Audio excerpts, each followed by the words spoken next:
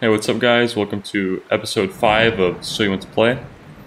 So, in this episode, we're going to be taking a look at the Cataphract. Now, Cataphract is an interesting one. So, you have very high armor, obviously with 45, health standard, movement speed is 73 on the ground, so it's terrible, and 7 plus 1, so only 8 horses total, you have to be really careful with your menu. But nevertheless, they're very, very strong. So we have the Kontos, which has 230 length. It's, it's pretty incredible. So you can't actually do couch lance damage with it, but you can just thrust with it, and it does good damage and has really good length. Uh, the horse is obviously good. So in terms of equipment, we have the Agile Horse, which sacrifices only a little bit, like one, like one charge damage in exchange for a lot more uh, mobility. So I would always recommend this for the for your first option. Not really another choice. You have the Kontos, uh, the bow and arrow, which can be fun, and the small shield. But uh, since we're against Khuzait and they have Lancers, I'm just going to run the Kontos because I want that range advantage. Follow me! So yeah, I'm going to go ahead and go straight to A. I hope our guys end up taking C. Yeah, generally if you're if you're Cav, you can just do a generic play for um, a generic play just to take uh, A, but I'm gonna actually kill this horse archer. Nice, I stabbed my own horse. That was foolish of me, but I, I don't really care. Yeah, so I gotta I gotta go for these horse archers if I can actually take this point. Yeah, I, I should have picked up some free kills there. I'm gonna go chase these horse archers down now. This will be my objective. I'm much faster than them. My horse is much better. And they obviously have terrible melee, so I'm disappointed I missed that. Could have been a free kill. Every kill counts here.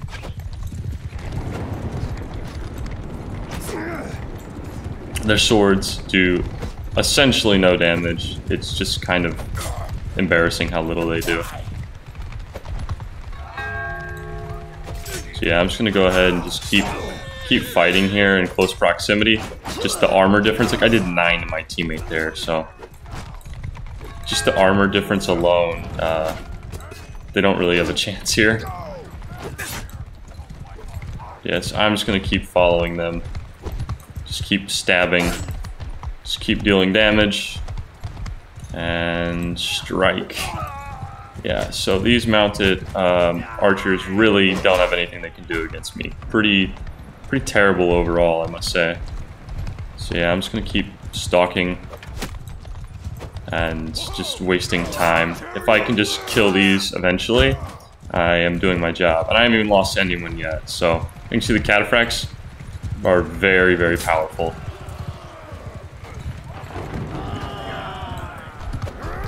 Missing the uh, shot there, unfortunately. Nice, okay. Let's get the kill there. Get the kill there. Don't like these archers. They're a bit annoying. But yeah, I'm gonna go ahead and, and engage this infantry squad here. Just run them over. Look how much trample damage I did there. Lots of twos, threes, fives. Wow, okay, I almost got hit there. I was not paying attention, but I got the little juke maneuver down, so I'm gonna run through them again. I like that, I like that a lot. And I, I gotta just kind of burn the horses here because you don't want to be the last horse guy left doing nothing, so help out where you can. Just run through and damage them. Now, I also have a tactic I'll show you probably next round where I take a shield basically and just shield wall through them over and over again to just keep gathering up trample damage. And it, it proves pretty effective in a lot of situations. So, dang it, you actually killed one of my cataphracts there. See if I can get the pick here. Nice, got the mounted archer. Always appreciate that.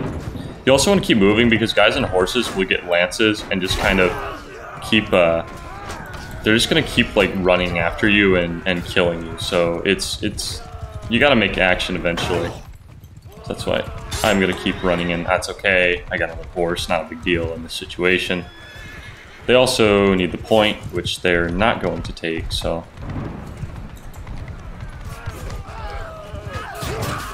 The 15 damage to that rabble, that's actually insane. Yeah, when they have low armor, the trample damage these cataphracts do is crazy. And I will say, that is uh, a big advantage to actually um, going going with the um, not the agile horse because you can take advantage of um, well nice I like that trade. But you can take advantage of the uh, of the little bit extra charge damage and the health. It's only five more health you get one more charge damage but you can take advantage of it and uh, get a little bit more out of bang for your buck when you do the charge. So I suspect they'll go more infantry. It would make sense. So I'm going to switch to the shield, sacrifice some range, and go ahead and, you know, I will probably, yeah, I'm going to get the cavalry mace and get the uh, extra charge damage there. So this is my loadout I generally use just to batter through infantry. So I'm actually going to hold here for now. I'm going to take C and I'm going to come back because I don't want to get stuck in here. It's quite easy to. So I'm just going to go ahead and take the point and then get out of here. And if they take it back, so be it. It's not really an issue. Can't really tell if they're coming this way. Make a shield wall! Follow me! Yeah, so I'm going to tell them to follow me now. It looks like they're not coming C, so certainly take advantage of the situation. Alright, yeah, so my cataphracts are coming in. You can shield wall, and of course, shield wall and a horse, no one cares because they'll hold their shields up permanently, but there's no movement penalty. So this is like the one situation in which I could actually recommend uh, keeping a shield wall up on horses. And it is for a very specific purpose uh, I'm, about, I'm hopefully about to show here. So even if they have spears, uh, I'm going to run in here, and basically just keeping a shield wall and just run into them. I don't even care about actually um, stabbing them. It's kind of irrelevant. It's just about going in and just running over infantry and then rinse repeat it just over and over and over again. Like right there, right there. Look at that great damage. Just gonna keep running them over and then the infantry hopefully will take like one less shot to kill the enemy. So it's it's good. But these are spear infantry, obviously, so it's not like this is going to be a foolproof plan here. But uh, the the weakness here is if the horse dies because they're shield walling. There's no risk the cataphract is actually going to die. You just won't get hit. There's no hitbox there. But um, I can just keep running in here. It's pretty effective, as you can see. Just keep hitting them over and over and over again. Don't even need to worry about swinging. It's not an issue. I'm gonna avoid these guys. I need some you need a little bit of infantry support just to get them out of spears because if they have a mace actually they'll switch when it's infantry and then I can run them over like this. So it's a, a neat little thing if you didn't know. They'll switch to spears if you're horses and they'll switch to the mace or the sword if you're melee so you can certainly take advantage of the situation. Yeah and so they're the only ones left so I'm just gonna charge and get out of it get in the line. So it doesn't really matter at this point I just go fish for kills. Yeah, certainly not anywhere near the top of the lobby, but 23 and 4, taking really efficient trades, and that damage is the untold hero of this. So that's they're not telling you about that damage, obviously I did. If we had a damage output, uh, some kind of log for that, knock him over, nice. But uh, if we had a damage log for how many guys I trampled, I, I think the results would be uh, pretty impressive. So